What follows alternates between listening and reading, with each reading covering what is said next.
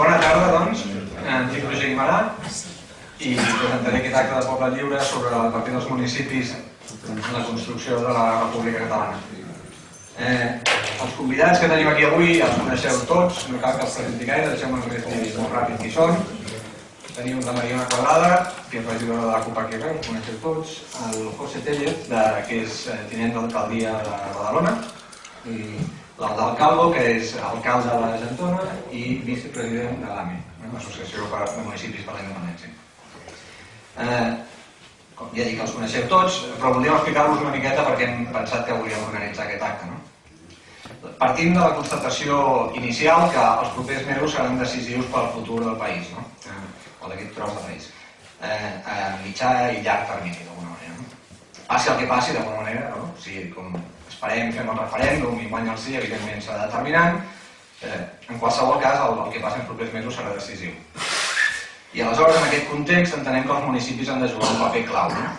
Han d'estar a l'altura, eh, tant empenyent per la, perquè es faci el, el referèndum, com després perquè s'implementi el resultat del referèndum, i en el pitjor dels casos, no en cas de que hi hagi inhabilitacions al Parlament, de que es produeixin suspensions d'autonomia, etc., com a dipositaris últims de la legitimitat democràtica. No? Aleshores, volíem plantejar aquest acte des d'una doble perspectiva. No? Per una banda, volíem que es parlés del, de tots els senyals positius que veiem venint des dels municipis. No? I cada dia els diaris en veiem, us esmento un parell. Avui, llegint sobre la reunió que feia l'Associació de Municipis per la Independència, l'AMI a, a Tàrrega, el titular del diari era eh, l'AMI, els municipis estan llestos per, no, no, no sé quina frase feien servir, per apretar el botó play, no? O per, per apretar el play quan així que el president es decideixi a eh, convocar el referèndum, no? I eh, aquest és una de les senyals positius que veiem als municipis. Els municipis fan de motor del procés, no? es tiren endavant. Quan eh, hi ha dilacions, quan hi ha dubtes, quan hi ha eh, passos que no sabeu ben bé on, on volen agafar. I altres exemples positius els tenim a Badalona, no? Un ajuntament que venia d'on venia, no? d'una alcaldia del pitjor que tenim al país, no? i que s'ha convertit en l'avantguarda de, de, del moviment independentista i d'esquerres de, també. No? I veiem, és un municipi que està fent actes de desobediència en qüestions nacionals, com l'episodi del 12 d'octubre, que malauradament torna a ser notícia, i hi ha altres episodis, com sortia als diaris també fa pocs dies, en, en prioritzar, en qüestions socials, com ara prioritzar eh, polítiques socials abans de, de tornar al Delta. No? Doncs, notícia, ha sortit del foc. Per tant, tenim aquesta, aquesta perspectiva positiva del paper positiu i de motor que fan els ajuntaments. I per altra tenim la perspectiva negativa d'alguns ajuntaments que no sabem ben bé a quin paper estan jugant. No? I jo soc de Tarragona, per tant no cal, no cal que parlem gaire de Tarragona, no? m'agrada de Tarragona, que és eh, del, del PSOE amb el suport d'Unió i de Ciutadans, per tant no cal parlem gaire, ja sabem eh, quin, què és el que hi ha. Però després tenim l'Ajuntament de Reus, no? que és un, alcalde, un ajuntament eh, presumptament sobiranista, però que eh, és, és, eh, és ambivalent no? en, en, en la qüestió del procés. Eh, I un exemple d'això, estic segur que en parlaran, és la, el fet que teòricament formi part de, de l'AMI, però no acabi de, o no pagui les quotes de l'AMI, no? perquè això seria il·legal. No? Qüestions d'aquestes. Aleshores tenim aquest cantó positiu, aquest cantó negatiu i de tot això és el que volíem parlar aquí avui amb vosaltres. Aleshores, si us sembla bé, primer parlarà la Mariona, després parlarà la Rosa i després acabarà parlant l'Aldal. I amb això ja plego i li passo el micro a Mariona. Gràcies. Bona tarda. Que, que se sent bé, malgrat la meva veu avui és una cosa bastant fosca i no hi sento gens bé, per tant, jo vaig dient i després ja, ja parlarem entre tots. Bé, mmm, jo faré una intervenció mmm, breu, resumida i, i d'alguna manera per anar al gra perquè és el que ara mateix ja, ja toca fer i ja fa temps que toca el gra però ara com ja està madur a punt de caure. Um, Mm, primer sobre el paper potser en general dels municipis, no? Eh, davant de tot aquest procés que, que estem vivint, doncs eh, en principi els municipis, com que són administració més eh, pròxima, diguem-ne, a, la, a la població, doncs eh, és, és aquell lloc on eh, copsem millor també les realitats socials i per tant eh, és el, el lloc, diguem-ne, on la gent el, del carrer, el poble, hi podem tenir doncs, també més, més incidència. Com ja sabem, la, per la CUP, diguem-ne, el municipalisme és el punt de partida des d'on han de néixer totes les iniciatives populars de qualsevol tipus. Per tant, aquesta, que és un, un pas, diguem-ne, molt important eh, en aquest moment, doncs eh, també mm, correspon a l'àmbit dels municipis tenir un paper preponderant i, diguem-ne, estirador d'aquest carro i a la vegada de, eh, que sigui, diguem-ne, els, els ajuntaments receptius a les propostes o als moviments que es vagin generant a partir de, de, dels moviments de, de la població. De fet, els, els instruments, diguem-ne, que tenim eh, els municipis, no? com a, les institucions municipals, per dir-ho així, per un cantó eh, sabem o creiem que són la, la participació ciutadana, que és aquell instrument que és capaç, diguem-ne, de descentralitzar el poder, no? és a dir, que vagi de, de la gent cap a la institució i que aquesta participació la podem exercir en el nostre dia a dia, en la nostra vida, eh, des dels espais democràtics, eh, o si són prou democràtics, des d'aquests espais creats ad hoc, diguem-ne, per l'administració, o des de qualsevol organització o entitat implicada a la vida de la ciutat. I llavors l'altre instrument que tenim, diguéssim, és la interrelació de tots aquests grups participants, eh, més o menys organitzats, perquè tampoc cal que tothom estigui dintre d'una organització amb uns paràmetres molt delimitats, però que el que sí que és important és la voluntat de, de cooperació i de treball conjunt per un objectiu comú. Mm, creiem que aquesta és l'única estratègia, diguem-ne, segura que no admet vacil·lacions. La voluntat de les persones i, i la força de la gent. Això ho hem dit per activa i per passiva, se n'omplim la boca, però això s'ha de portar a la pràctica i que sigui eh, palpable per, per tothom. No? Eh, si aterrem a Reus, que d'alguna manera és el que se m'ha proposat a mi de, de parlar avui, doncs eh, efectivament a Reus tenim un problema greu amb el govern eh, actual de, de la ciutat. Eh, les persones que sou de Reus ja, ja ho sabeu, que sou la majoria, però pels meus companys de taula potser no queda tan clar, eh, o sí, però eh, repassem que dintre del govern hi tenim un PDeCAT de nom actual que està format per persones pertanyents a, a Convergència i persones pertanyents a l'antiga Unió, que d'alguna manera ja ha desaparegut de, del mapa, no? eh, per persones d'Esquerra Republicana i persones d'aquest grup que, que se'n diu Ara Reus i que segons ells mateixos no tenen ideologia política, amb la qual cosa doncs, queda força clar no? la, la composició d'aquest govern. Anant a fets concrets, a principis de mandat, d'aquest mandat, quan vam sortir sis mm, regidors i regidores de la CUP, van presentar la moció per l'adhesió de Reus a, a l'AMI. Aquesta moció va ser aprovada, també com molta gent sabeu, la qual cosa vol dir que ja fa temps que hi hauríem de ser de manera activa i participativa amb això. No? Eh, mentrestant, mmm, durant aquest temps, Societat Civil Catalana i Ciutadans doncs, la van impugnar com ho han fet a, a d'altres llocs, i què va passar en aquest moment? Doncs que davant d'aquesta ofensiva el govern va decidir presentar recurs i ara representa que estem esperant que la llei espanyola ens doni permís o no per formar-ne part. Um, el dia que es, va, que es va votar la presentació d'aquest recurs uh, en contra de, de la decisió de Societat Civil Catalana i Ciutadans, la CUP hi van votar en contra. Hi va haver gent que no ho va entendre. Bueno, jo ho va... crec que més clar l'aigua. Per què hi van votar en contra? Doncs perquè insistim que nosaltres no n'han de demanar cap de permís al govern de, de l'estat espanyol, i molt menys al moment que ja som.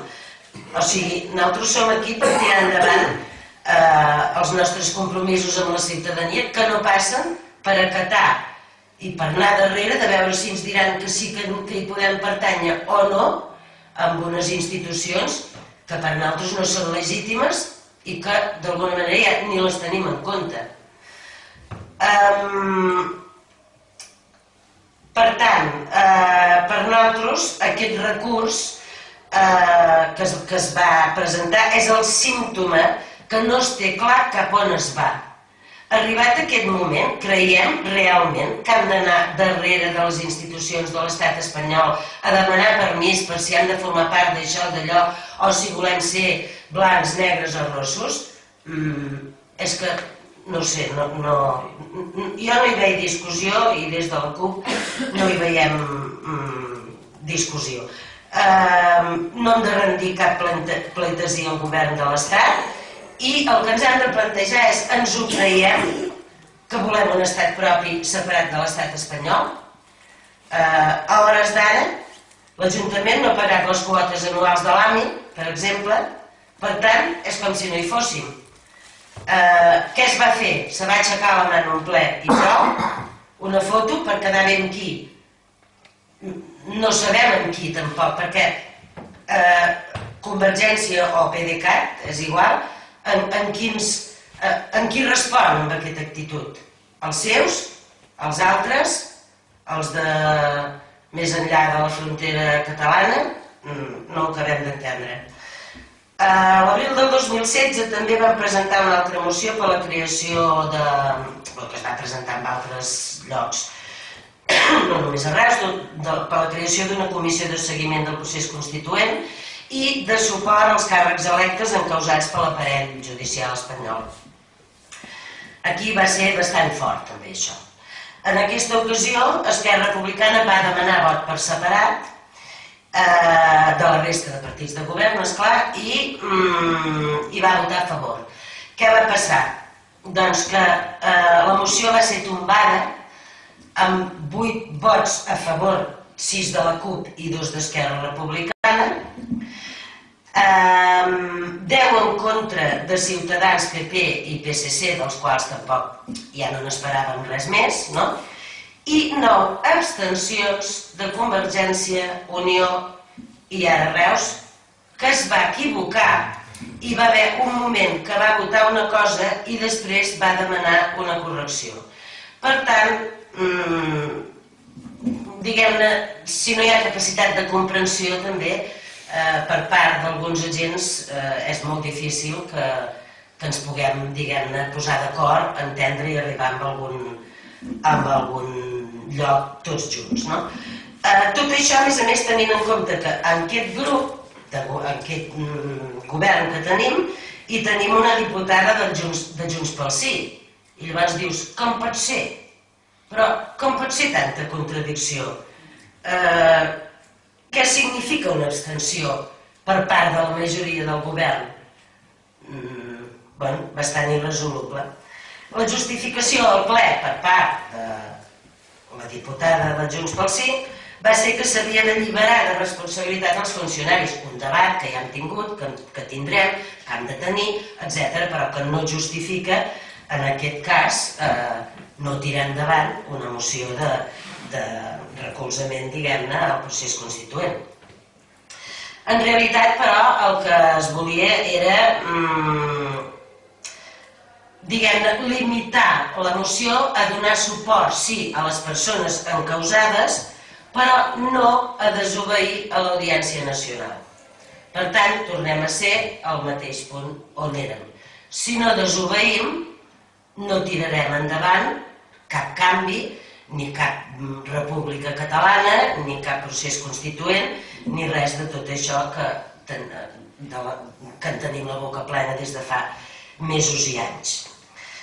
Arribats aquí, mmm, doncs, i, i eh, en un moment ja de no retorn, o exercim la sobirania entre tota la població possible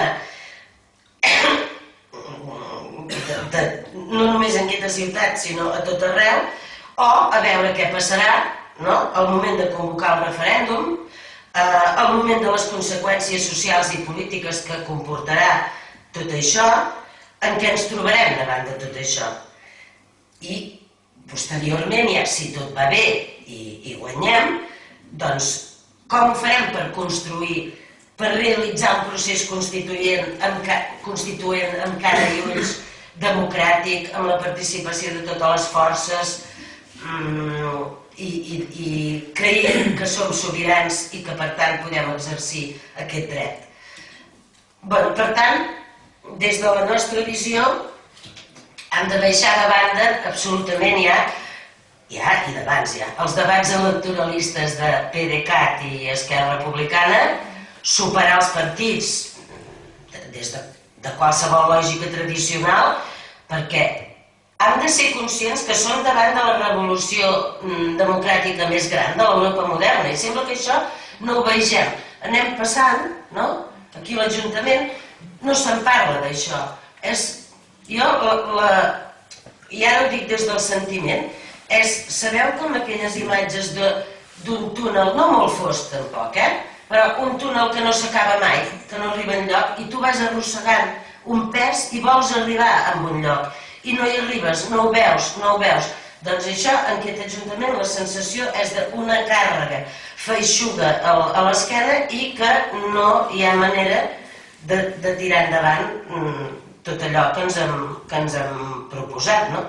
Per tant, Mm, no podem permetre que els interessos o desinteressos d'uns quants es carreguin la voluntat de, de tot un poble, perquè més aviat hi ha un desinterès, però el desinterès també es pot llegir com a interès per continuar amb una forma, amb una visió autonomista del nostre país i no sobrepassar, diguem-ne, aquest límit. Uh, S'ha dit, d'exemples se n'han posat molts i, i tots sabem que i la, hi ha gent aquí que recordareu com jo aquella cançó de blancs i negres junts no serem moguts perquè llavors eren joves i ara ja som més grans etc. Que, que dèiem no? els, els negres seien darrere l'autobús i després van seure al davant bueno, sabem que són exemples tòpics i que els han dit mil vegades però és que què més han de dir? Mm, és que no hi ha res més a dir, és així o, o prenem el toro per les banyes o, o sí que serem moguts, però cap a un altre cantó. Eh, per tant, si no s'hagués desobeït, els negres encara hi s'haurien darrere l'autobús. Eh, aquí, i més a prop, diguem-ne, eh, han begut i bevem també de la lluita de, de l'esquerra independentista, en aquest sentit, no? que mai ha deixat de creure que fins que no exercim la sobirania de veritat no canviarà res. Doncs aquí Reus, la missió que tenim en aquest moment, entre tots i totes, eh, és la de lluitar amb aquesta por immensa al canvi que perpetua aquestes actituds conservadores i de comoditat d'una part de, de la població representades per la major part de l'equip de govern. És a dir, no és una qüestió només de, això que hem dit tantes vegades, independència sí, independència no, és participació, democràcia participativa, democràcia directa, construir una realitat social eh, que és la que crea... No millor, no m'agrada dir això, perquè ha de ser bona, senzillament. Mm, construir una realitat social que sigui l'adequada a, la, a la nostra població. I per tant, preguntem a aquest govern de, de l'Ajuntament de Reus, ens ho creiem que volem un estat independent? Volem una república catalana, de veritat? Mm, si no, i, i, i apuntem que els drets s'exerceixen amb la desobediència conjunta i popular.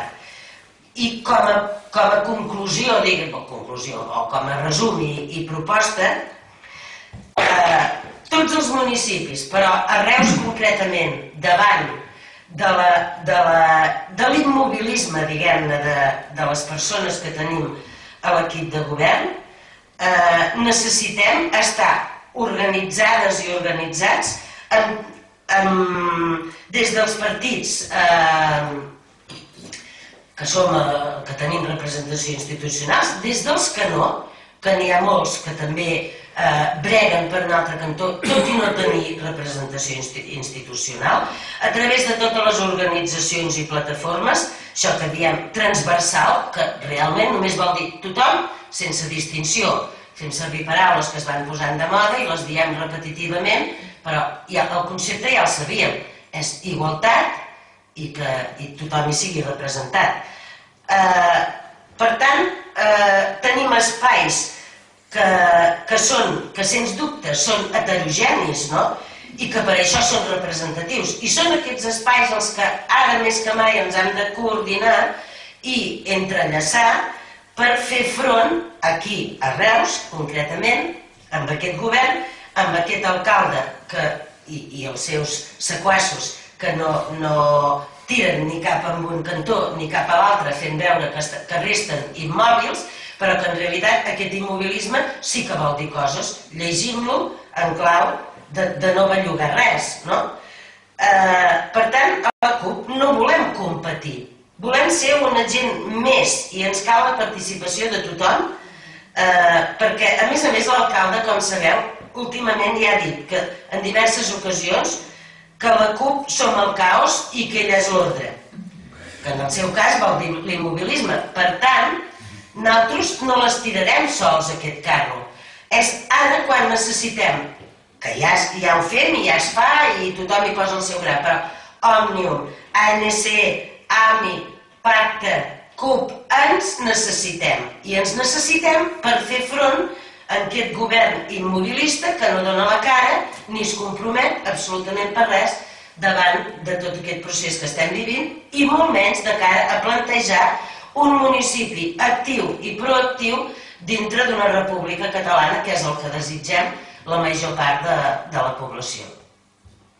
Després ja parlarem.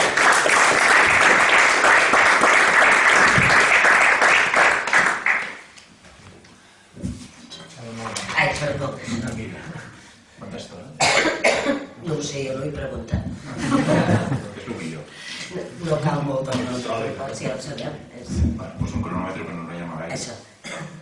Vale, bueno, començar agrair a, Poble Lliure que ens hagin convidat a, en aquest acte per fer-nos sortir de Badalona, que passem moltes hores i, i sobretot molt content de, de venir també aquí a prop del, del cor de, del país, que, que no hi venim gaire, és de, és de l'àrea metropolitana de Barcelona i, i jo crec que està molt bé sempre conèixer altres àrees metropolitanes. déu nhi el panorama no? que estava escoltant, no coneixia gaire la, la realitat, però algunes coses que segueixo de, del grup municipal de, de Reus a Twitter, etc. Però jo crec que, bueno, a mi m'han demanat que explico una miqueta no, la feina que estem fent a Badalona, el municipalisme, com podem lligar eh, el municipalisme amb la construcció del país, i, i aprofundiré una miqueta agafant el fil del que comentava la companya, no? que sembla que hi ha una sèrie de, de, de partits que, que sí, que són independentistes i s'ho creuen i esperem que s'ho creguin quan arribi l'hora i estem tots pensats perquè no podem estar d'una altra manera de que abans de, de que arribin els torrons doncs votarem i estem tots esperançats i empenyem perquè així sigui, però sembla, jo crec que, que toca també eh, fer campanya per a que aquelles urnes que posarem i que posarem doncs que estiguin plenes de sis i perquè estiguin plenes de sis jo crec que cal explicar a la gent ja cal que comencem a explicar a la gent com volem que sigui la república no? i a vegades sembla no, que, que per part d'alguns simplement volen que aquesta nova república en comptes de tenir una bandera tingui una altra i nosaltres no volem això volem que més enllà de les banderes que hagi de tenir la nova república als balcons dels nostres ajuntaments doncs que es puguin fer les coses d'una altra manera i sembla ser i, i ara aprofundiré i explicaré una miqueta què és això. No? Doncs sembla ser que, que alguna gent no vol això, no? vol simplement fer un canvi de banderes, un canvi de denominacions i que tot continuï igual. I això en el municipalisme té molt de sentit, perquè el règim del 78, que és el, el règim en el que ara mateix estem immersos en aquest règim administratiu que, que és una transformació de la dictadura, doncs li atorga un paper als, als municipis de merament gestors de la misèria i sembla ser que alguna gent ja està còmoda amb això. No? Llavors poden tenir un discurs al Parlament i unes accions, esperem que unes accions, més enllà d'un discurs, ho esperem, de, de bona fe, i després quan tornen al seu ajuntament, una pràctica, i no és una contradicció per ells, perquè els ajuntaments, o sigui, ells alguns de que, que aquests que ara volen crear una república catalana van formar part de crear aquest règim del 78. I llavors, en aquest règim del 78, el paper que tenien els ajuntaments són de gestors, de gestors de la crisi i de la misèria. No? I llavors no és una contradicció per ells estar en un lloc i, i després quan tornis al teu municipi doncs pactar amb el PP o amb el PSC o amb qui faci falta perquè per total per gestionar no fa falta ideologia. No? I jo crec que no ens hem d'acontentar i hem de, entre tantes coses que hem de parlar no? de, de com ha de ser aquesta República Catalana, jo crec que una de les coses que hem de parlar és com volem que siguin els municipis d'aquesta República Catalana. A mi, sempre m'agrada, suposo que perquè com, com l'Eudal, no? bueno, jo no sóc economista però ara m'ha tocat, eh, gestionar la, la hisenda de l'Ajuntament de Badalona i sí, i uf, intentem, intentem formar-nos i ficar-nos en aquest mundillo dels números, no? i a vegades els números diuen, diuen coses molt, molt cares. No? Per exemple, com es reparteix el, no? el, el règim, com es reparteix el pastís dels impostos. No? Jo crec que això, anar mirant el, del, un estat, no? com reparteix entre les seves diferents administracions el, el pastís dels impostos, doncs, és una bona, bona manera per entendre com, vol que, com és el seu model territorial. El, el franquisme eh, repartia el pastís 78-12. Vol dir que l'estat central gestionava el 78% dels impostos totals i el municipi els deixava el 12%.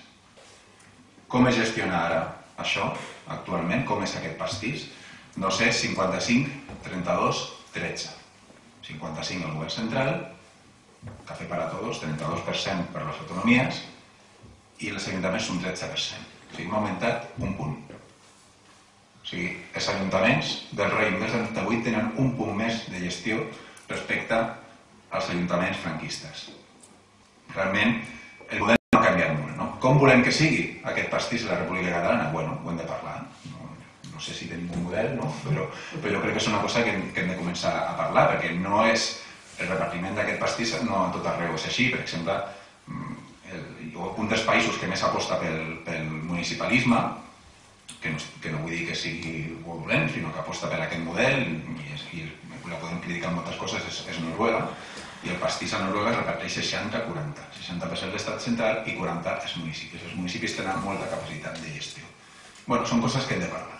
No, no perquè tenir més capacitat de gestió és més bo o és més dolent, però jo crec que, que hem de parlar perquè la nostra tradició històrica i tots els canvis històrics que s'han donat en aquest país sempre han tingut com a protagonistes els municipis. No? Parlem del 31, però també del canvi, o sigui, d'aquelles eh, revoltes barrials que, i aquelles vagues que es feien a, a, a les indústries de les seves metropolitanes del país, que es van fer durant els anys 70, també van produir eh, que el franquisme s'hagués de moure perquè no canvia res, no? O sigui que, i, i sempre es feia de les revoltes néixer a la fàbrica, però també als barris i, i moltes vegades sempre parlem de la fàbrica perquè tenim molt idealitzada, sí, molt idealitzada perdó, la, la lluita de, dels barris, que la eh, de les fàbriques, que la protagonitzaven les homes, però moltes vegades ens oblidem de la lluita de les barris, que sobretot la protagonitzaven les dones. L'enjumenat, eh, la, el, els autobusos, no? o sigui, que arribessin autobusos als barris i d'això es van produir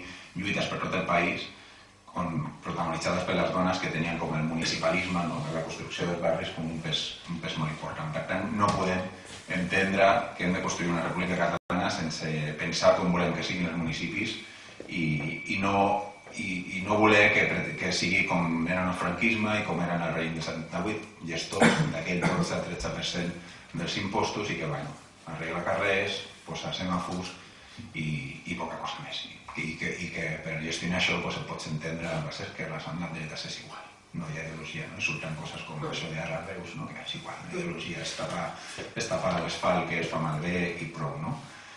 A més, ara estem en un procés de... El rei del 78 està en un procés de recentralització, eh, promogut també... S'acopla una miqueta això? Ara, millor. Bueno, no m'ha provocat tant i ja està.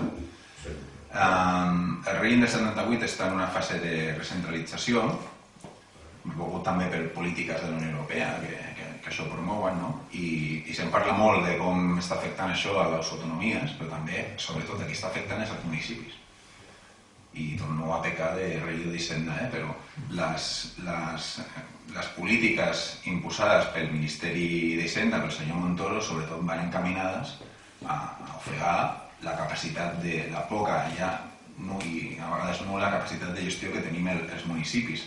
I aquí parlem de l'ARSAL, no? que moltes vegades des de, des de la CUP i també altres forces polítiques doncs hem, hem criticat eh, fortament. Si potser estic més a prop de... Hem criticat fortament, no? perquè perquè, perquè en, com afecta la sala als municipis. Doncs hi ha una, o sigui, per començar, tots els ajuntaments d'Espanya, també els del Partit Popular, han desobeït la sala. Perquè la SAL, una de les coses que diu, és que els ajuntaments s'han de cenyir exclusivament a fer les seves competències. I això ningú ha complert, per exemple, els serveis socials, els ajuntaments no tenen competència de serveis socials. I ara aquí és el guapo o guapa que, que no fa serveis socials al seu ajuntament. Per tant, no, a vegades quan es diu no podeu desobeir això i tal, bueno, doncs, sí, a veure si obliu les vostres... O sigui, no hi ha res pitjor que fer una llei que no es pot obeir, no? I a vegades, i a vegades és que ahir, ahir m'ho preguntaven molts mitjans i és que cada cop en aquest país, en aquest estat, és més difícil no, no desobeir, eh? perquè és que es volen eh, callats i muts a la gàbia, no? I, per exemple, també eh, la, la nula capacitat de, de gestió que, que ens atorga l'ARSAL i que ens, eh, que ens culpa bàsicament del tot el dèficit que s'ha creat en, durant la crisi en les diferents administracions a l'estat espanyol, això es provoca eh, que tinguem moltes dificultats de gestionar els nostres propis recursos, això provoca que tinguem uns superàvits molt alts, superàvits entre cometes, perquè és un, és un concepte que, que no hauríem d'acceptar perquè ve de l'empresa, però que és, ajuda a entendre molt bé lo, pressupostàriament el que suposa, i que obliga l'ARSAL i la llei de, de, del senyor Montoro amb aquests superàvits que vagin a, a prioritàriament a amortitzar deute. I per tant, així els ajuntaments estan rebaixant a, a saco el seu deute quan no són les administracions més endeutades, perquè tampoc tenen aquesta capacitat de, de gestió per endeutar-se, comparat amb les autonomies i, i amb l'estat central, sobretot, i així és una manera de que el govern de Rajoy i del senyor Montoro se'n puguin a Europa i dir que han fet els deures i que, i que s'han complert, complert els seus objectius de dèficit. I de fet, el darrer any eh, l'estat espanyol per primera vegada compleix els objectius de dèficit que li marcava la Unió Europea gràcies a l'ofegament en el que estan subvenços els ajuntaments.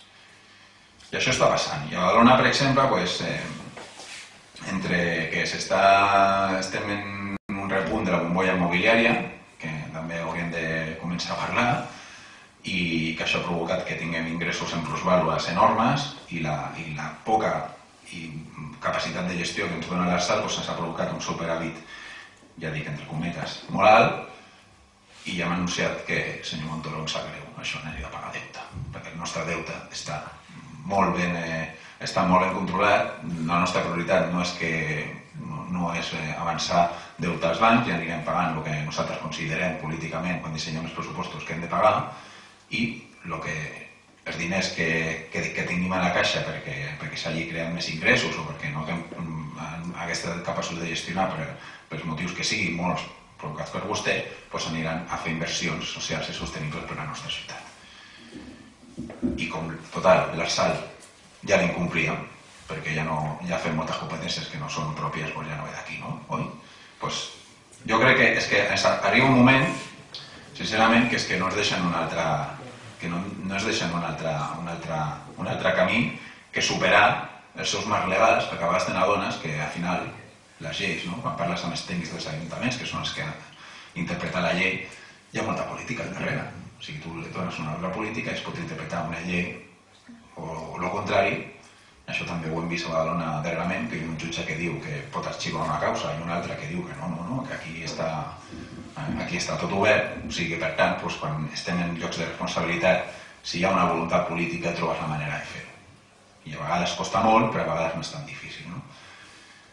Per tant, jo crec que des dels municipis hem de, hem de treballar per superar aquest marc legal del règim del 78 i començar, a l'hora que, que, que gestionem, eh, intentant superar aquest marc legal del règim del 78 per construir aquells municipis que no siguin els gestors de la misèria, en el qual, que és el rol que el règim del 78 s'atorga.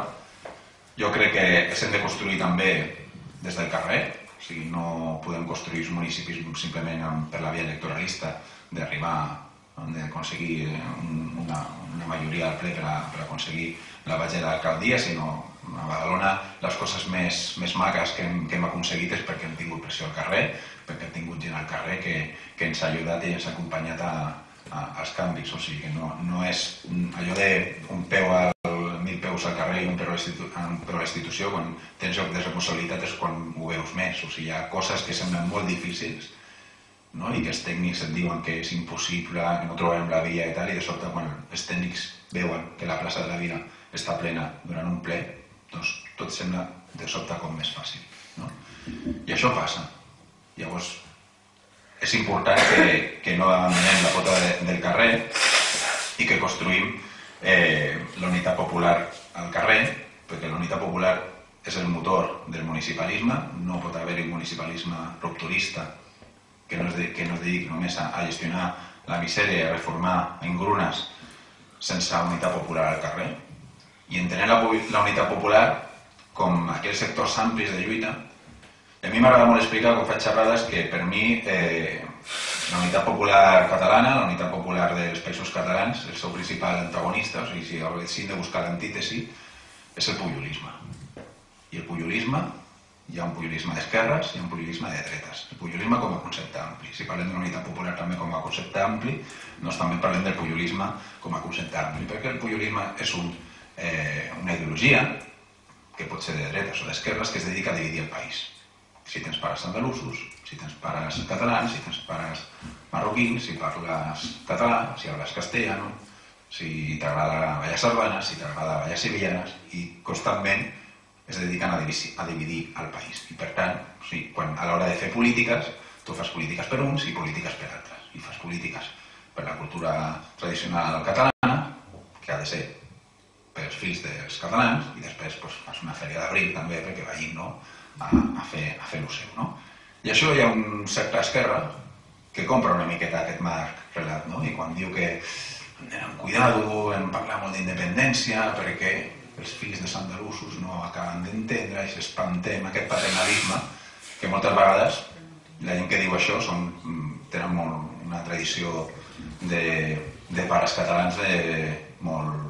L'arbre genealògic és català, català de fa uns anys, no? llavors hi ha aquest paternalisme. No?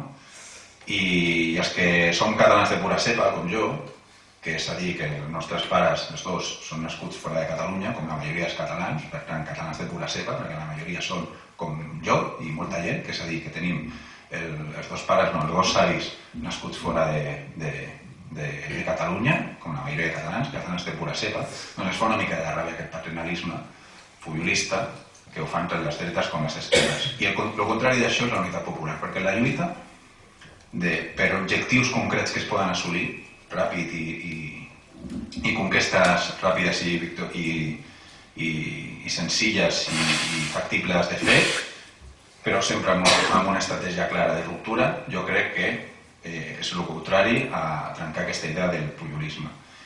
Per tant, la unitat popular és el motor d'aquest municipalisme rupturista i que aquest objectiu estratègic, que és la República Catalana, però jo crec que aquesta república que volem, que li posem un adjectiu, que és de catalana, perquè és a Catalunya, jo crec que li podríem posar un altre adjectiu. No? A, a Sud-amèrica els agradava molt posar també, quan se llegaven d'Espanya, adjectius a les seves repúbliques, no? bolivariana, socialista... A mi m'agradaria que la república catalana tingués un altre adjectiu que fos municipalista i que estigués basada en, el, en els municipis perquè som un país on la implantació territorial bàsicament és municipalista, les lluites, tenim moltes lluites, el mapa de lluites dels països catalans està ple de, de lluites locals i, i territorials, i tenim eh, una tradició històrica també de, de, de ruptura i de canvi molt basada en els municipis. Per tant, jo crec que estaria bé que aquesta república catalana també fos república catalana municipalista, i aquí jo crec que hem de parlar de tot, hem de començar a omplir, a omplir de, de contingut com volem que sigui aquesta república catalana municipalista. I aquí vull parlar, ja per anar acabant, eh, algunes experiències aportar una mica les experiències que, que estem experimentant a Badalona. Badalona, el cas de l'Ajuntament de Badalona és un experiment i segurament farem coses bé i farem coses molt malament. Per tant, has dit, ha dit el company que s'ha presentat com l'avantguarda, jo, jo, jo seria, soc molt més modest i jo crec que som un experiment, que això vol dir doncs, quan tu fas un, laboratori, un laboratori, no? i llavors quan un laboratori quan fas experiments alguns surten bé, alguns surten malament, però jo crec que és interessant l'experiència i m'agradaria compartir quatre pinzellades amb vosaltres. Jo crec que es poden impulsar polítiques de participació molt potents des del municipi. Nosaltres hem fet el, el, el, el procés de pressupost participatiu més gran que s'ha fet, a, que fet al país. Hem posat més de la meitat del pressupost a participació en un procés molt llarg que ha durat mesos i on hem intentat eh, incloure els tres conceptes de democràcia. Fins ara, als municipis només ja existia la democràcia representativa, és a dir, voto cada quatre anys i, i aquestes persones que he votat es dediquen a impulsar una sèrie de polítiques. Existia també, en alguns casos, no, que, quan la participació ja començava a posar-se de moda, eh, i dic de moda perquè no era una, no s'ho creien, sinó que era una estratègia de, de campanya, no? Pues existia la democràcia deliberativa, i aquí van néixer els consells de, de barri, de districte, suposo que aquí també, no sé si existeixen ara o segur que en algun moment va existir. Feu els consells, no?, de, de barri.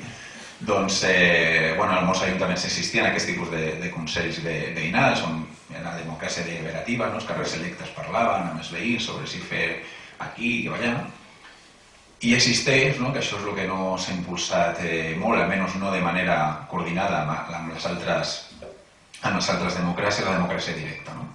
O sigui, està la representativa, la deliberativa i la directa. Llavors nosaltres hem fet un procés de participació que ha fallat en moltes coses, evidentment, i que, i, i, i que quan fas coses doncs, a vegades falles, però que ha sigut molt, molt positiu en, en termes generals, on hem inclòs els tres conceptes. No? La democràcia representativa, els electes, hem fet una sèrie de propostes, que en un procés deliberatiu, presencial i digital, eh, aquelles propostes, algunes queien, i algunes s'incloien, algunes es milloraven, algunes es perfeccionaven o, o, o el que sigui, i algunes sobre el meu parer perquè pues, empitjoraven, però per això està, existe la democràcia, no sempre guanyes, no?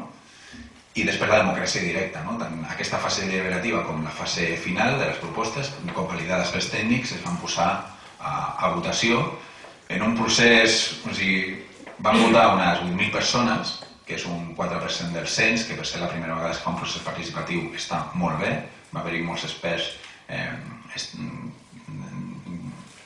que s'han ficat en, en diversos processos d'aquestos i, i ho valoren i ho valoren molt positivament i era una cosa molt divertida, era que van votar, van votar 8.000 persones que durant 15 dies van haver de trobar una mitja horeta de la seva vida per posar-se davant de l'ordinador a veure com repartien 14 milions d'euros i la gent, molta gent deia, coi, és que costa de votar, hem hagut de dedicar mitja hora, és que estem malalts i li dediquem molta, com, molt de temps a la política, a l'ordinador i tal, no, no sembla tant, però hi havia molta gent que mitja hora davant d'un ordinador eh, per decidir com es repartien diners i que te n'adones que, ai, no, hòstia, això un carrer val això i, i si faig aquest carrer no puc fer aquest centre cívic i tal, però jo crec que vaig estar en, en molts tallers on la gent votava i la veritat és que era, era molt maco que, que, que tinguéssim a Badalona 8.000 regidors d'Hisenda no? que havien de repartir els, els, el, el, el pastís. No? Bueno, jo crec que és una experiència molt positiva.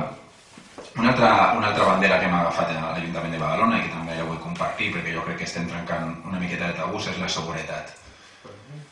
Teníem un, veníem d'on veníem, ja s'ha comentat, d'una persona que tenia una obsessió amb la neteja, tot el que no sigui netejar el seu partit, evidentment, això, això, això no, i, i llavors era, van valorar que no podia ser que la bandera de, de la seguretat la tingués en exclusiva aquest senyor, que és molt alt d'alçada però molt baix de, en ètica i moral. Eh, llavors eh, vam agafar aquest tema de bandera, també ho vam fer a la nostra manera, vam fer un procés participatiu amb, amb experts, amb veïns per parlar de com volíem que fos la seguretat als nostres barris perquè partíem d'una premissa, que és que la seguretat ha de ser una de les coses més importants per nosaltres, perquè per nosaltres, per les esquerres eh, en general i per l'esquerra independentista i rupturista en particular, eh, una cosa que més hem de valorar és la llibertat i no hi ha res més que és lliure que poder caminar segur pel carrer, saber que, que, que, no, que no passarà res pel carrer, no? Però això no soluciona més policia, perquè moltes vegades posant més policia al carrer i una policia més reactiva no eh, provoques més seguretat, sinó tot el contrari, provoques més sensació d'inseguretat. No? I llavors eh, estem mirant la, el model de seguretat no des de la vessant policial, sinó des d'una de vessant global. Ara seria molt complicat i no em vull allargar molt més d'explicar-ho, però m'agrada posar exemples. Eh, quan hi havia algun accident, eh, un robatori, alguna agressió en algun carrer a Badalona, una millor, no? Sí, en, en algun carrer a Badalona, doncs eh, fins ara no, la reacció de, dels diferents governs, en particular del senyor Albiol, pues serà de, durant aquells dies eh, augmentar la presència policial en aquell carrer. No? I així la, a la gent, no? als veïns, que es, tenien una certa sensació de seguretat, alguns, no? perquè alguns que potser no tenien el color de pell que li agrada, o no parlaven l'idioma que li agradava a, al govern de turno, pues, se sentien més insegurs. No? I llavors mm, provocava pues, que la gent s'hagués de canviar la, la seva rutina, no passés per aquell carrer, etc. No? Però bueno, era una, una, una política. No? Quan hi ha un accident, eh, pues, poso més policia en aquell carrer. No? Nosaltres, com a conclusions d'aquestes jornades eh, participatives de seguretat, fem les coses d'una altra manera. Quan, quan passa un accident d'aquest tipus, enviem mediadors i experts en seguretat, que no tots, van, no tots els experts en, en seguretat van uniformats i tenen pistola i porra, i miren què passa en aquell carrer. I a vegades ens hem adonat que millorant l'allumenat d'aquell carrer, doncs eh, l'índex de, de criminalitat baixa. I a vegades millorar l'enllumenat vol dir, és una cosa molt barata, que no cal canviar ni bombetes ni faroles, que és una cosa molt cara, que vol dir agafar el vidre, li sobra, li treus la pols i això fan molta més. Bueno, doncs és una política de seguretat, perquè la gent se sent molt més segura si quan torna de casa a de treballar per aquell carrer, doncs el seu carrer està més enllumenat. I, i tot això sense enviar a, ni una furgona, a, amb llums escandaloses, ni sirenes, ni porres, etc. No? Eh, recuperar els serveis privatitzats és una altra, una altra política que aquesta República Catalana Municipalista hem de, hem de prioritzar. Nosaltres hem començat auditant aquells grans serveis que estan externalitzats per, per grans empreses que no mateixes recollen escombraria, que fan una escola bressol, que, que te construeixen una carretera, hi ha empreses que fan, fan el que sigui, i resulta que no només s'havien privatitzat aquests serveis, sinó que a més ni els controlaven des de l'Ajuntament. Perquè resulta que controlar eh, un servei com el de recollida de residus i, i neteja viària, doncs en una ciutat tan gran com Badalona vol dir que tu has de tenir molts funcionaris controlant que allò que està fent l'empresa doncs, ho estigui fent bé, perquè bueno, genera, genera molta feina, no? I has de, has de tenir una capa de funcionaris vigilant allò, que al final dius, escolta, si he de tenir aquí 20 funcionaris per controlar això, doncs saps què? Que millor potser ho fa jo no? i s'estalvien tenir dobles, dobles estructures. No? Per tant, aquests serveis s'han externalitzat amb l'excusa d'eficiència, de, però resulta que quan comences a auditar com s'ha fet, eh, com, com s'ha fet aquest servei, que ningú controla les factures i tal, resulten eh, pufos de milionaris no? que s'han costat a tots molts diners per fer un servei que per, hem pagat tots un servei que no s'ha fet. No? Per tant, controlar i recuperar els serveis privatitzats jo crec que ha de ser una prioritat. La cultura, que tampoc es dona molta importància, la cultura no és només eh, la festa major del poble de la ciutat, sinó que la cultura nosaltres la, la posem també molt en l'educació i la regidoria de Cultura i Educació diu la dona educadora, perquè entenem que la cultura és una manera també d'educar de, de i, i la cultura no és programa de concerts només, també, i, sinó que són moltes coses i que s'han de fer i que són també polítiques d'educació i de convivència que s'han de mirar sempre en perspectiva de 360 graus i en definitiva eh, tenir un model de ciutat que, veri, que pensi la ciutat en el seu conjunt, no? que pensi l'urbanisme en el seu conjunt, que quan pensi en el model comercial pensi també com reservar els espais naturals, que quan pensi en les infraestructures que vol per la seva ciutat pensi en el model de, de mobilitat i com s'ha de moure la seva gent i tenir aquesta visió global de la ciutat i no com fins ara s'han gestionat els ajuntaments que per força moltes vegades han, hagut de ser eh, coalicions com som a Badalona i que no han volgut repartir, repetir els, eh, alguns errors de, de tripartits passats, no? que cadascú agafava el seu àmbit de gestió intentava explicar que ell gestionava millor que l'altre partit que tenia el despatx al costat i que, i que això ha provocat que tinguem eh, ciutats mm, amb parxes, no com català, no? amb pedaços, no? I, i bueno, jo crec que, bueno, amb errors i encertos, però jo crec que l'experiència de Badalona pot funcionar, que, que hem de, que hem d'omplir de contingut aquesta república catalana, que volem que sigui també municipalista, i que hem de fer passos avançats cap a, en aquest sentit, no només amb la gestió del dia a dia, que ara he fet quatre pinzellades, no, no he pogut aprofundir, sinó en la conjuntura actual del país.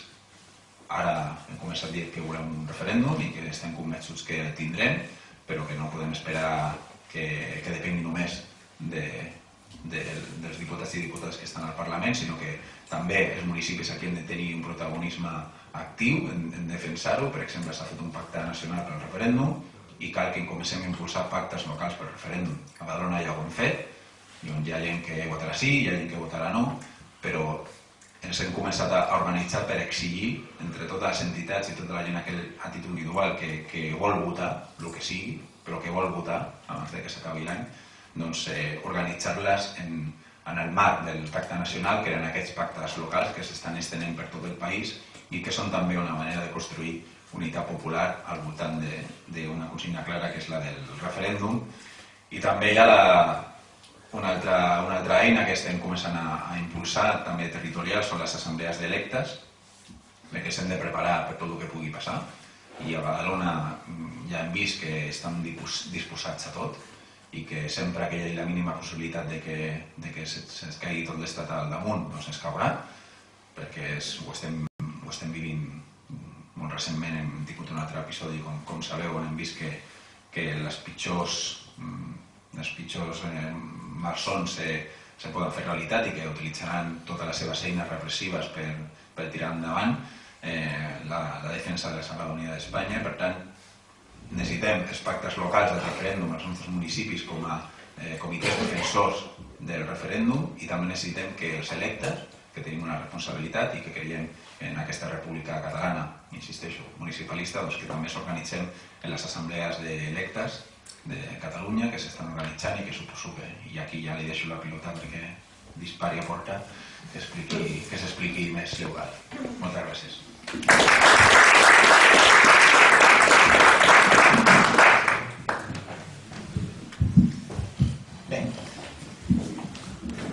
Primer lloc, agrair-vos la vostra presència avui aquí. Per nosaltres, eh, ara parlo com a avi, eh? és important doncs, també poder tractar tot el territori eh, una mica explicant aquest moment històric tan important. Um, també agrair als companys que m'han precedit, uh, crec que tot el que han dit ho donaré per sentat, o sigui que si no em concreto en algunes coses que ja s'han dit és perquè crec que ja, ja s'han dit i per tant em semblen totalment correctes. Eh, dit això, també voldria agrair a Poble Lliure una cosa que potser no hi heu, no hi heu fet cap, però que és molt important, que és el títol de la xerrada d'avui.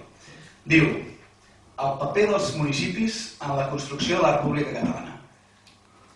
Jo crec que és que el títol resumeix tota, eh, tota l'actualitat política nacional catalana queda resumida en aquesta sola frase a finals de setembre o a principis d'octubre, això tant li fa, ara ja no ens ve de 15 dies, portem 300 anys aguantant els espanyols i els francesos, per tant ja no ens ve de 15 dies, però en aquestes dates de tardor de 2017 es produirà una situació de catarsi política nacional a Catalunya com mai hem tingut a la nostra vida. Els que som joves, els quatre de la taula com a mínim, sí. sí uh, segurament serà el moment polític més important que haurem viscut mai. Els que, molts dels que ens escolteu potser heu viscut moments que fins ara heu considerat que eren els més importants. Estic parlant, evidentment, de la transició, o fins i tot eh, algú podria pensar doncs, que vam sobreviure a un cop d'estat, etc eh, etc. Però us asseguro que el que passarà els propers mesos crec que superarà totes les millors expectatives que puguem tenir. Estem ara mateix al maig, queden, com dic, quatre mesos, i estem en aquell moment de la calma abans de la tempesta. Una tempesta que no està allunyada de riscos. Alguns han parlat d'imputacions, s'ha parlat d'inhabilitacions, de fet ja s'han exercit, l'Estat està començant a ensenyar les dents, ja hi ha hagut eh, moltes imputacions, hi ha hagut inhabilitacions, hi ha hagut sentències de tota mena, l'Estat utilitza totes les seves eines, des de les democràtiques fins a les no democràtiques, i quan dic les democràtiques i incloc eh, totes les branques de, diguéssim, que, amb les quals eh, Montesquieu dividiria un estat, per tant, diguéssim que s'han utilitzat totes les eines que de moment l'Estat ha tingut a les seves mans per intentar-nos eh, fer por o fer-nos desistir d'aquesta voluntat popular que és majoritària a Catalunya i que, com a mínim, eh, fins a dia d'avui ningú ha pogut demostrar que no sigui majoritària en quant a, a un, una persona o un vot. Ningú ens ha pogut demostrar encara que no siguin majoritaris. Fins i tot, la majoria d'enquestes eh, donen credibilitat a la possibilitat de que la via independentista sigui la majoritària. Però, com bé sabeu, tampoc ens deixen exercir aquest recompte, aquest referèndum. Els municipis sempre han estat, i abans alguns companys ho recordaven, han estat eh, l'element més revolucionari de totes les institucions. Eh, S'ha parlat de la república, de la proclamació, també eh, crec que és important recordar que aquí mateix a Catalunya les consultes populars no van ser organitzades per cap altre òrgan que no fos els ajuntaments, per tant, diguéssim que allà han vingut demostrant la seva vàlua fins a dia d'avui. I no és dir tampoc una qüestió que de vegades no ens en recordem. El senyor Carles Puigdemont, abans de ser president de la Generalitat, era alcalde, alcalde de Girona. Per tant, eh, la importància dels municipis és, i, i bueno, perdoneu, eh, i el vicepresident, el senyor de Junqueras, també eh, ha estat alcalde fins fa molt poc de Sant Vicenç dels Horts. Per tant, la importància dels municipis és eh, elemental. Quin paper tindrà la senyora Colau? Quin paper tindran tots els alcaldes i alcaldesses de l'àrea metropolitana.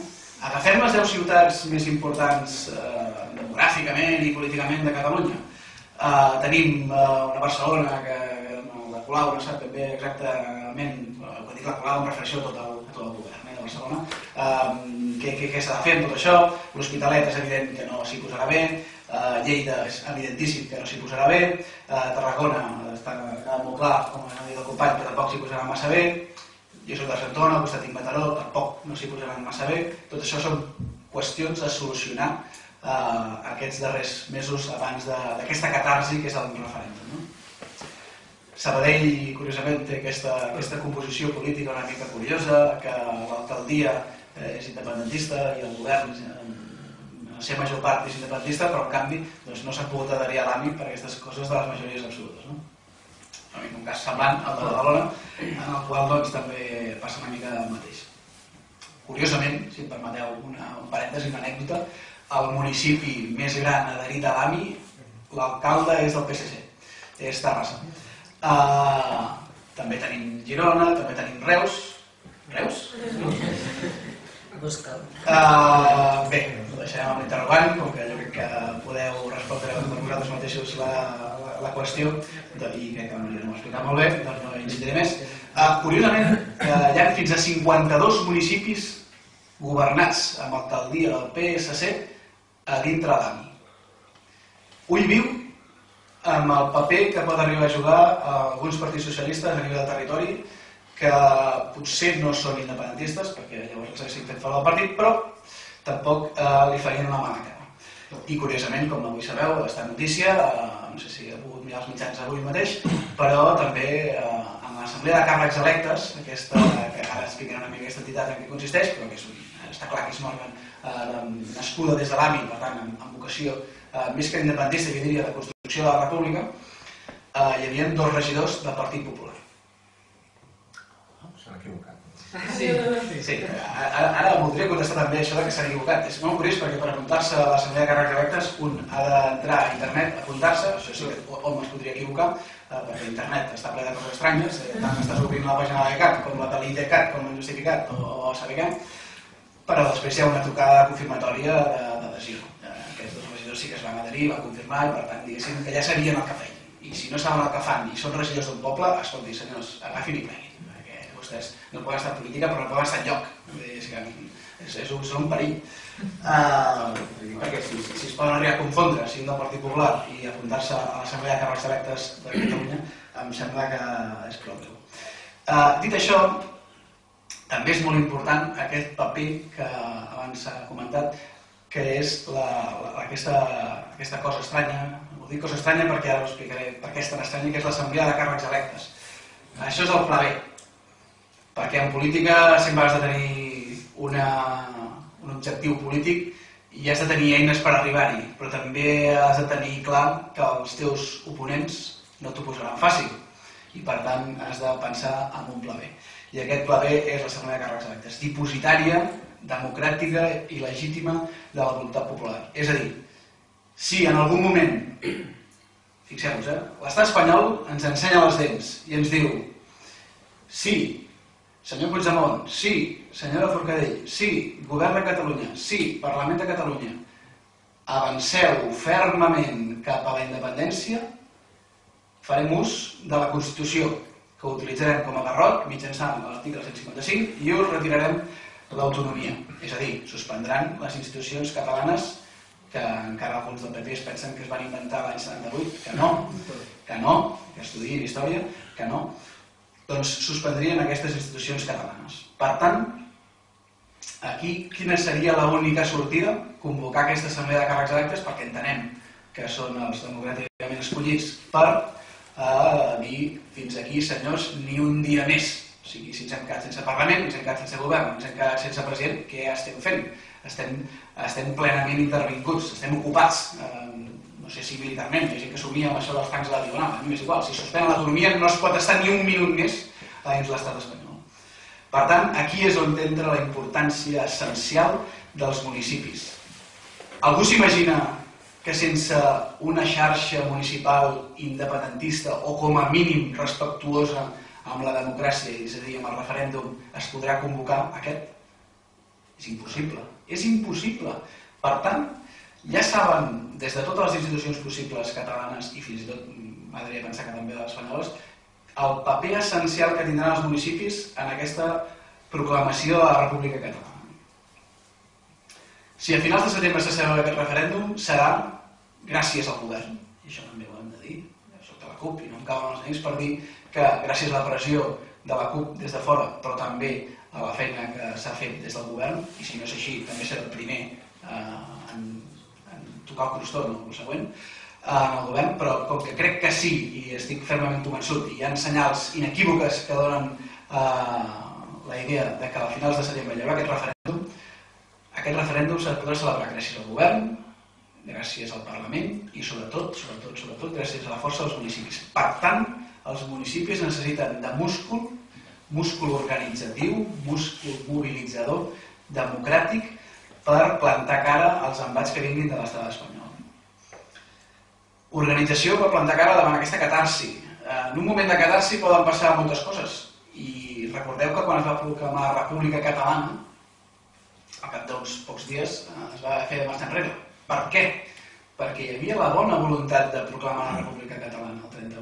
Però segurament no hi havia el múscul suficient com per fer-la valer, per fer-la defensar fer defensar aquesta proclamació. Per tant, aquí és molt important que entre tots i totes estiguem plenament organitzats i preparats per mobilitzar-nos en qualsevol moment. Punt número 1. Punt número 2. Estem parlant sempre que això és una revolució democràtica.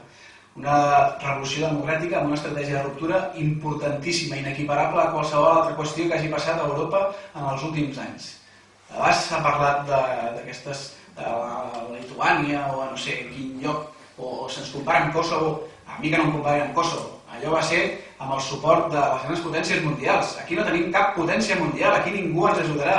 Aquí, bueno, Maduro, perdona, però aquí els únics que ens podem fer valer som nosaltres mateixos, és que no tenim cap padrí. No tenim cap padrí. Kosovo tenia els Estats Units, segurament les últimes repúbliques van, es van independitzar, algunes tenien el, el, el, el suport de Rússia, i si algú es vol independitzar en una altra punta del món, tindrà el suport de Xina. És que aquí no tenim ningú. Aquí no tenim ningú. L'única cosa que tenim som nosaltres mateixos. Per tant, estar molt ben organitzats i plenament mobilitzats és eh, requisit essencial si volem tirar endavant. I ara us espantaré amb el que passarà si no estem fent tot això, que és que podem arribar a fer un referèndum i que l'endemà no passi res, i això seria el pitjor que ens podria passar, que és que es celebrés el referèndum el dia 1 d'octubre i el dia 2 d'octubre no passés absolutament res, sortissin els diaris completament iguals, dient, oi, mira que bé els catalans han votat un 70% i sortit un sí majoritari. I que es veiés una bola de palla rodolant per la plaça Sant Jaume i que no passés absolutament res. Llavors aquí això, això seria un problema. Per tant, o estem molt ben organitzats i estem molt ben preparats per sortir de casa en qualsevol moment a defensar els resultats del referèndum o si s'impedeix o si s'impedeix a defensar les urnes o l'estat espanyol ens farà entrar en una involució que oblideu-vos de tot el que ha passat fins ara. Estem parlant d'una involució molt forta, ens quedarem sense institucions, ens quedarem sense president, ens quedarem a la pràctica sense autonomia, serem una regió nord-oest d'una cosa que es diu estat espanyol. Per tant, eh, jo només eh, per el clau, eh, agrair-vos a tots que fins ara hagueu estat treballant per arribar fins aquí, en un procés que no s'acabarà el dia del referèndum, ai las, que s'acabi el dia del referèndum, perquè l'endemà s'haurà de defensar els resultats, s'hauran de fer valer els resultats i després començarà una nova aventura. Començarem la construcció de la república, és a dir, haurem de vestir, com molt bé deia el José, el futur que volem.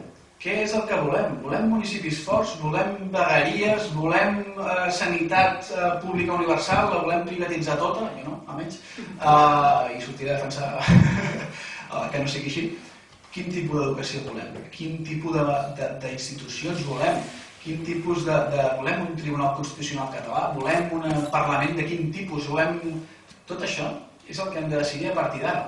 A mi quan el senyor Santi Vidal sortia i ens deia que ja tenia una, redacció, una Constitució redactada, a mi em feia una mica de vergonyeta en el sentit de dir, senyor, no és vostè qui ha de redactar la Constitució, la Constitució s'ha de redactar des del poble, des de, la, des de la gent reunida en processos constituents d'àmbit local i després territorial per portar tot una, un, feix d'idees que després es puguin treballar i acabar eh, cristal·litzant en una Constitució. No pot un senyor, per molt intel·ligent que sigui, ho fem, per molt intel·ligent que sigui, no pot redactar una Constitució. Tenim les experiències dels processos bolivarians que s'han escrit constitucions des de, des de les bases populars.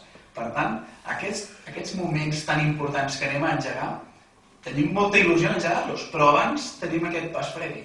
Aquest pas previ que és el de fer valer el nostre dret democràtic a decidir el nostre futur. Un, dos, a guanyar el referèndum, que de vegades ens en oblidem, que no hi ha res guanyat, perquè sempre donem per fet que els altres no aniran a votar. Eh? Si eh, nosaltres assegurem que el resultat del referèndum és vinculant, doncs pensem que no aniran a votar. Els partits poden dir que no. El, el senyor Rajoy a Madrid pot seguir dient que no s'ha de votar. Però la gent d'aquí pensem que no anirà a votar. I tant que anirà a votar. Si assegurem que el resultat és vinculant, hi haurà vot pel no. No és dolent, sempre i quan no guanyi, però hi haurà vot pel no. Per tant, eh, és important mobilitzar-se en defensa del referèndum, en defensa de la democràcia i, i evidentment, fer campanya pel sí, pel sí a un futur, per sí un futur a aquest país, perquè és que l'alternativa és tremebunda, no sé com es diu en català, però segur que eh, reflecteix una mica la idea, que és que el futur pot arribar a ser molt negre si no ens sortim. Per tant, l'única sortida que ens queda és posar-nos les piles, pensar que tenim davant el que queda de primavera i tot l'estiu per posar-nos les piles, organitzar-nos i treballar dia sí, dia també, perquè el dia, a finals de setembre o principis d'octubre, se celebri el referèndum i el guanyem. Llavors començar la segona part, que és la que ens fa més feliços, que és aquesta de la construcció de la República Catalana. Moltes gràcies.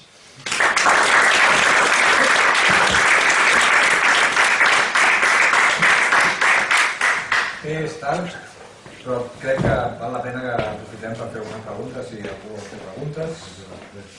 Sí. A veure, jo, vostè ha dit el paper dels municipis a la República Catalana, és així? Molt bé. L'endemà de la construcció de la República. Me sembla que vostès aquí, francament, jo no, no entenc res. Per a mi, soc bé, eh? Estic passant de moda Aquí l'únic que hi ha és una cosa. Catalunya vol ser independent. Molt bé, ho serem, jo espero que ho siguem. Ara bé, el dia de demà Ara no és l'hora de parlar de com serà, com deixarà de ser. Primer tinguem la república. I quan tinguem la república, les persones adequades que facin una Constitució i tot el que es faci, els diferents habitants o ciutadans, li puc dir, votin. És, és una cosa tan, simple, tan simple com aquesta. No inventi grans problemes. Que el, tema, que el tema internacional ens perjudica, sí senyor, ja ho sabem que ens perjudica. Miri, si vo- vostè no sé si ho recorda perquè no hi era, pel gat que no hi era.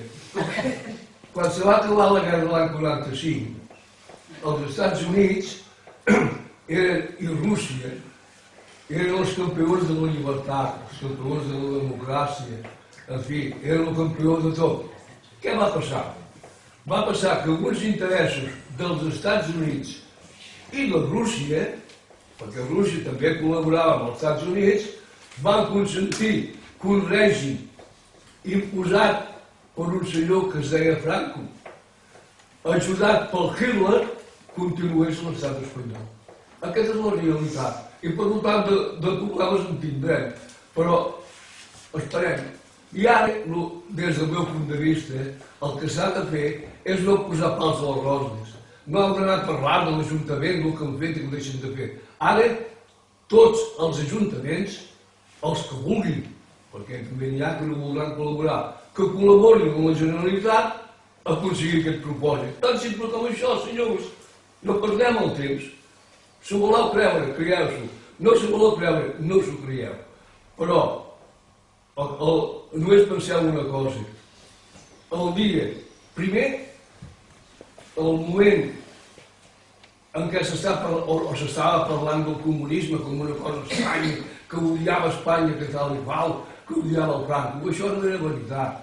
I no era veritat per una raó molt senzilla, perquè el dia que els Estats Units van proposar que el Franco ingressés a les Nacions Unides, els russos tenien el dret de vet.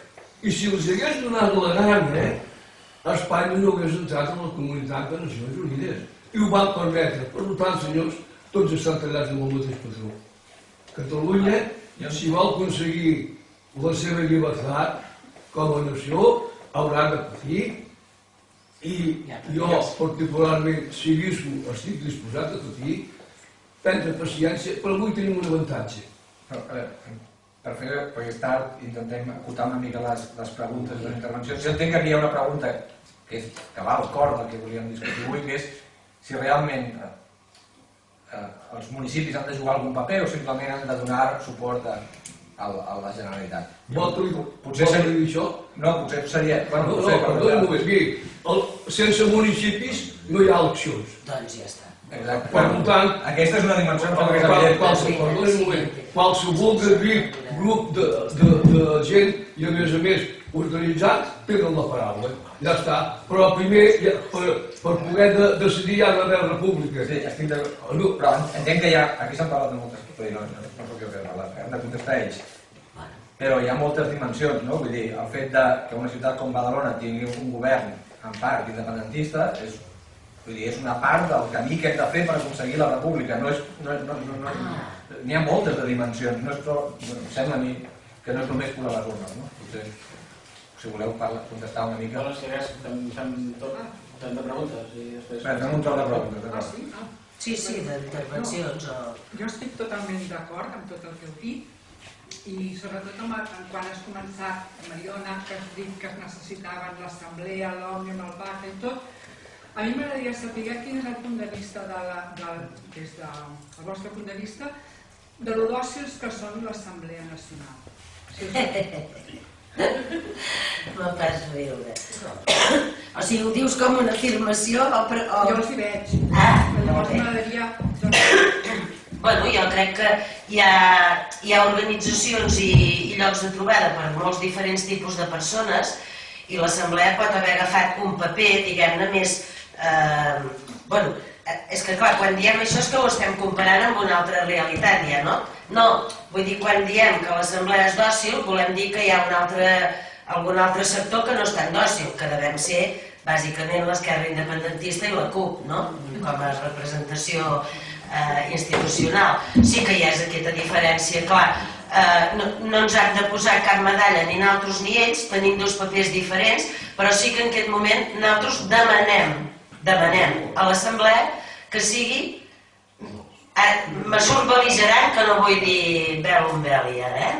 Eh, sinó que sigui eh, més proactiva amb la, amb, amb la seva presència, diguem-ne, als, als mitjans, al carrer, amb les seves àrees d'influència, que eh, d'alguna manera reculli que ara ja som al moment de la veritat i que, insisteixo, si ens creiem que som sobirans i ens creiem que volem canviar el model de societat i que volem fer un país nou per, tal com han explicat el, els companys, eh, obtenir una sèrie de resultats mm, beneficiosos per a la comunitat, és a dir, eh, mirant pel bé comú, doncs a l'Assemblea li demanem, sí, més contundència en les seves accions i que confiï més en la CUP també, que nosaltres ho hem dit des del primer moment, nosaltres hi som i serem, i no fallarem amb això. I quan s'ha dit que posem pals a les rodes, mirem quins pals a les rodes han sigut. Potser han sigut eh, es, mm, decisions o estratègies que se diuen més amb la nostra manera de, de pensar, però que responen realment amb un model que és el de capgirar la, les coses, no? que ja és el lema, el, el capgirar què vol dir? Doncs que repartim, per favor, que repartim, que no hi hagi aquests decalatges de, de classes que continuen sent-hi i que hi seran sempre, no. Mm, Tots som persones, cada un nascut en un lloc diferent, però resulta que tots tenim la mateixa vàlua i, i es mereixem exactament el mateix. Per tant, des d'aquesta visió tan simple, que dic jo, i en paraules tan poc polítiques, eh, sí, demanem a l'Assemblea i a Reus, sobretot, tots els organismes eh, que, que formen part de, de, de tot aquest procés i, i de voler arribar eh, al referèndum i, i per descomptat a la independència, els hi demanem que, que ens unim més en aquest moment i que siguem tots més, eh, que tinguem una responsabilitat de, de ser capaços de plantar cara amb, amb aquelles institucions que ens posen ells els pals a les rodes. A títol d'anècdota hi vaig molt ràpida perquè no vull agafar temps. Recordo que hi va haver aquell incident que va parlar amb en Jaume i l'Emili, potser així, són a ANC i Òmnium, a, a que eh, ANC volia fer una, una trobada, ara és igual, no surt la paraula, que es va fer a Granollers el dia 29 d'abril, no? Eh, això es va demanar que es fes a Reus i, i clar, bueno, doncs per Reus representa que era un orgullo i una satisfacció tenir això. Però resulta que es va anar a l'Ajuntament i a demanar doncs, un local i etc i allí sí que es van posar pals a les rodes perquè això no se celebrés aquí. Doncs se demanem que sigueu contundents, s'heu de plantar allà davant i dir que no, que ho volem fer aquí i s'ha acabat. I si no ens veniu a trucar a la porta i vindrem altres al darrere o al costat. Per això ha de ser així. Punto. Bueno, m'ho has contestat prou bé, però jo... Digues, Però, Potser me n'he anat, no, no, no, no, no, pues, Sí. estupendo. Però hi ha una cosa que a mi em fa dubtar. El poder de convocatòria de l'Assemblea sense el suport De les institucions. dels, dels partits polítics a qui li fa més la gana gana. Però l'assemblea està composta de, de moltíssima gent i som gent de la CUP que també som socis de l'assemblea, per exemple, aquí mateix n'hi ha uns quants, eh, que col·laborem amb, amb diferents, des de, des de diferents, diguem-ne, plataformes, estem treballant per la mateixa causa. Per tant, bueno, eh, potser, doncs, eh, hi, hi ha d'haver des de l'assemblea, clar, també partim de quina assemblea, d'un poble, d'un altre, de la general, bueno, en general potser és així, llavors doncs, demanem posicionaments, però més que d'enfrontament amb, amb partits, de cara a incentivar i a ser proactius cap a l'objectiu final, que és el que tenim aquí al davant ara mateix.